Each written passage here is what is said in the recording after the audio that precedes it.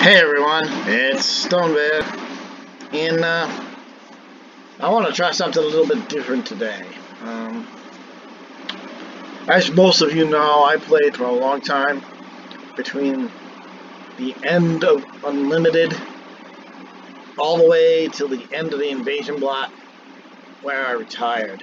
We didn't have a lot of uh, drafting in that time period. There was only really one format until around the end of Ice Age when they introduced Type 2. Really dating myself, but that's okay. Uh, I mostly played what you would call Type 1 back in those days with the limited card pools that we had. Cards were challenging to come by. They didn't get a lot of massive prints, but we managed to get the cards that we needed between trading. Uh, there was a lot of great stores back then that we were able to get singles. I remember buying my first Mox for 50 bucks. I said that, 50 bucks. I remember buying my buying my first Lotus because I came in at the end of it unlimited, so I wasn't able to really get my hands on one. So I had to break down and buy one. So my first Lotus was $75. I'm letting you sink that in for a second. $75, guys. Pack Fresh Mint. Played that card forever in my deck till I retired. When I retired, I dropped off a ton of dual lands from unlimited and a revised. You know, I dropped off a Mox and a Lotus, and tons and tons of great uncommons and rares. Enough to buy a nice car. And I walked away from the game very unhappy. You know, I, I walked away from the game because I was unhappy. But what I got in value and compared to what I invested, I definitely made a profit. And I didn't come back to the game for a very, very long time. Every once in a while, my friends would try to talk me into playing. I'd say, hand me a deck, I'll play, but I'm not buying any nonsense. This went on for a very long time. And then a friend of mine introduced me to Magic Arena. I fell in love with that program, made me fall in love with Magic again, made me remember how much I used to love making decks, the creative process involved in it. And uh, I enjoy playing again. And I get a little excited about new releases. So here we are. October, you know, August 21st, we have a little bit of information about Zendikar Rising. I don't know if anybody else has released this information. I just want to go over it a little bit with you guys and give you a little bit of perspective from somebody who played way, way, way back in the day. Only did probably two drafts, maybe three. And, uh, so, they're changing, as they always change something when they come out with a new set these days.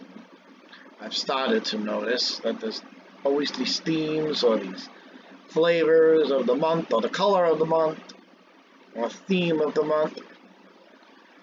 So, uh, here we are. I don't know if we're ever going to really be able to sit down in real life and do any real drafting. But here we are, they're talking about some set mechanics and they're talking about a brand new mechanic that will be a variation on a popular theme. We'll also be uh, returning to a couple of mechanics. Then they go on to talk a bit about the boosters and how they're trying to tell a story in the type of cards that we get in our boosters. This takes us back to a time when that was kind of what Magic was trying to do a long, long time ago. It used to try to tell a story when you opened up a pack. So here we see in Zendikar Rising,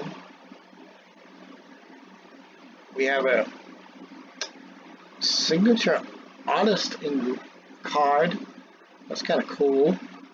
We have a land slot, which we've always kind of had a land slot. There was a time where you only could, you know, when they stopped doing it, I think that was around Mirage. They, the only way you could get basic land was if you bought a starter deck uh, or a reconstructed deck. I think they started doing pre-constructed and Tempest block. It's been a long time, so forgive me and my memory. You know, we have three to eight commons and uncommons. We have what they're calling a fireworks section, a card that looks different than a normal card. Either it's a showcase card or something special. Slot 10 and 11 will either be some kind of wild card, so that could be a rarity or a any rarity common, uh, common up to a mythic. So, I don't know, a little skeptical about that section. Of course, we have our rare and mythic slot, which we're supposed to have. We're also seeing that there's a slot 13 for foil, and of course, the nonsense, we gotta have the tokens and all that stuff. So they're just giving us cards.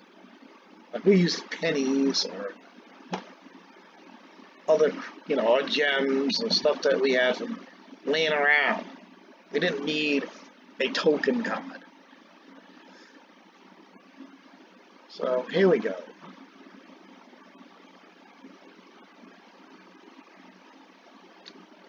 So we're talking a little bit about, here we go. So the block mechanics, it looks like we're returning to some landfall abilities. That'll be kind of cool. I never got a chance to do a lot of landfall stuff. A couple of friends of mine who stuck around in the game made some landfall decks and I played a couple of those and it seemed like an interesting concept, but there, to me it kind of felt like something was missing, like they didn't support the mechanic enough. It was like, hey, let's do this, ah, never mind.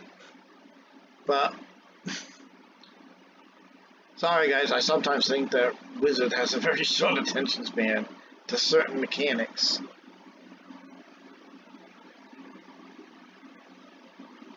Something else, Land of Magic, quests, or enchantment cards that specify certain conditions. When those conditions are filled, you added a quest counter to them and you will hand the necessary counters you could use to their abilities. Quests will be divided into three cycles, expeditions, quest, and ascensions. That's an interesting concept, but they'll probably be like four or five casting cost cards. Traps, I don't like this.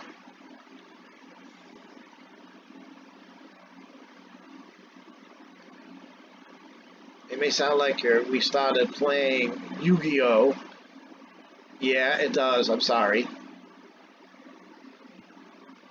So I'm not really sure how I feel about this mechanic. What do you guys think about adding traps to a a game that already has so many crazy mechanics. Uh, I remember seeing some of these kind of cards. A friend of mine has a couple of them in a deck that he plays. So we'll see some cards that are going to have levels. So now we're playing D&D. okay. This is a nice picture. I love art. So I've always been somebody who enjoys Magic's art. Here's another mechanic. Think of rebound keywords as echo. Once you play a spell with rebound, it was exiled instead of going into the graveyard and can be recast during your next turn without paying its casting cost. It was introduced in Rise of Eldrazi? Really? Okay.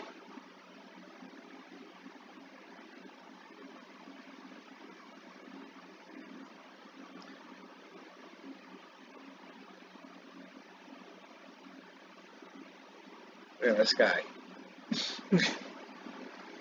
I think he was operating on that dog back there, which we're not supposed to notice.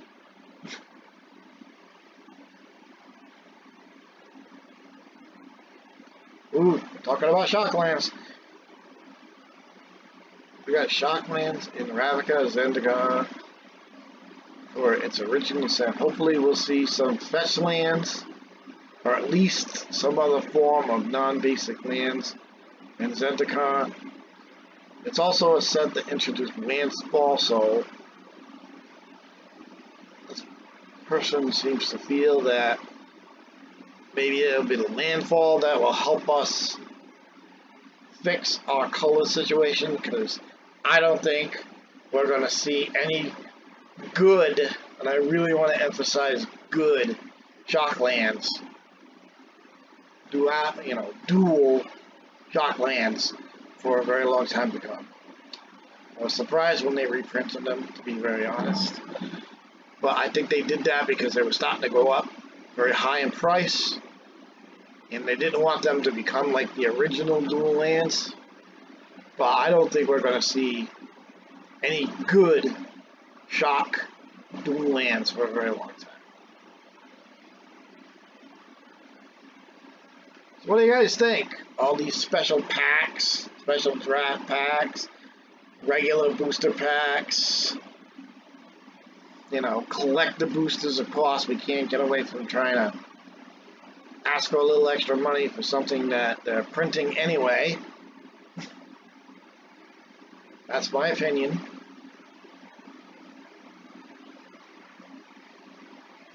Are you guys excited about Zendikar? I'm excited about Zendikar because I am dying for the meta to get a bit of a refresher. I get a little tired of seeing the same old decks every day. That's why I started playing Standard 2021 when they gave it to it, gave us that option on Magic Arena. And that's pretty much where I've been for a while. I will be doing a couple of regular standard deck creations before they're gone. Because I did enjoy the format. I just needed to get away from it for a while because of this Sabo story. So what do you guys think about Zendikar? What do you think about all the changes to the packs? Do you like the idea? Do you think uh, things will be better? Are you looking forward to some new mechanics? Some old mechanics that have been fixed or refreshed? Tell me what you guys think. This is Stone Bear. Normally I do Magic the Gathering, Best of One. Some people say I do Jank. That's fine. Some people say I see the decks online and then try to fix them to my own style. That's fine. Some people say I play too much black. There ain't no such thing as too much black, my friends. No such thing. Please remember to like and subscribe to my page. Leave some comments. Tell me what you're thinking. Tell me what you're thinking about Zendikar Rising. Till next time, this has been Stone Bear saying, We'll see you next time in a place that looks like Magic the Gathering Arena and not a webpage that talks about an upcoming set. Be well, everyone. Take care.